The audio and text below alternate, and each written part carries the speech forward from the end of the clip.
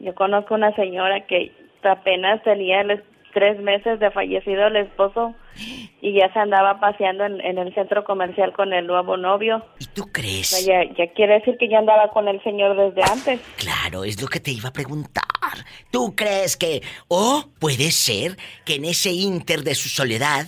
La señora le conoció, tampoco vamos a ser tan malos juzgando. Ah, porque somos buenos para apuntar con el dedo. ¿Eh? Somos buenos para señalar. Pero bueno, tú cuéntame, ¿qué decían en tu colonia pobre? Eh, ¿Qué decían? Eso es lo que me da rating a mí, ¿eh? Que la vieron en el centro comercial y luego... Luego decían que, que, que la engañaba, que ya la, viuda ya engañaba al difunto desde hace mucho tiempo. ¿Y luego? Diciendo que la viuda conocía al nuevo galán, en el ahora sí que antes, como un mes después de que falleció el señor, pero apenas era su amigo. Mm. palabras de ella, ¿verdad? Pero, palabras de ella, pero como dijo una vez la pobre Pola, nadie lo sabe, excepto las sábanas. Sas, culebra. Solo las sábanas sabrán la verdad. Las sábanas y las lámparas donde los vieron.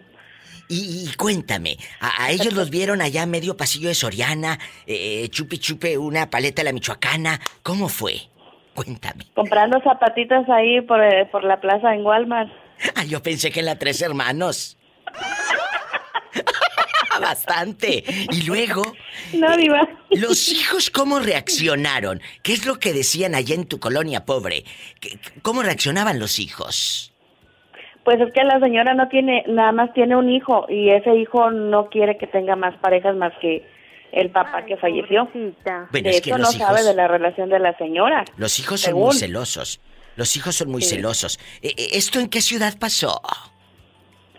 Aquí en Veracruz, México. Qué raro. Eh, sí, sí. En Veracruz no pasan esas cosas. Allá las viudas se quedan para toda la vida solas. ¿Cómo no?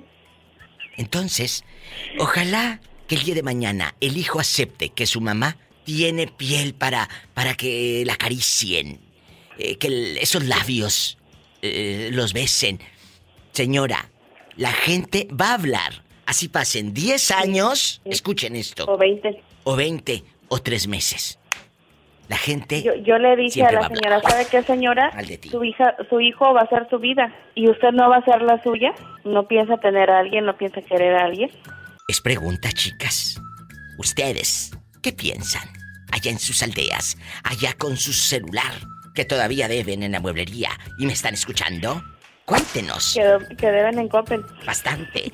Muchas gracias. Abrazos hasta Veracruz. Sabes que aquí tienes una amiga. Aquí tienes una amiga. Sí, que cuídense mucho.